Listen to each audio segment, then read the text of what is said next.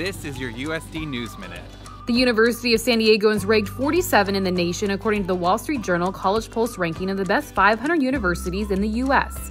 The ranking looks at the value the school provides to students based on the learning environment, years to pay off the net price, degree completion rates, the likelihood of higher salaries post graduation, and diversity. This week, USD celebrates a remarkable milestone 50 years since the first classes began at the Hahn School of Nursing and Health Science. What started with just a small cohort of 14 graduates has flourished into a thriving institution now enrolling over 450 students across various advanced graduate and doctoral programs. Wednesday, there will be a special ceremony to honor those who lost their lives in the September 11th attacks. There will be a presentation by ROTC students followed by an interfaith prayer. That's Wednesday morning at 8 in the KIPJ Theater. Thanks for watching. We'll see you next week.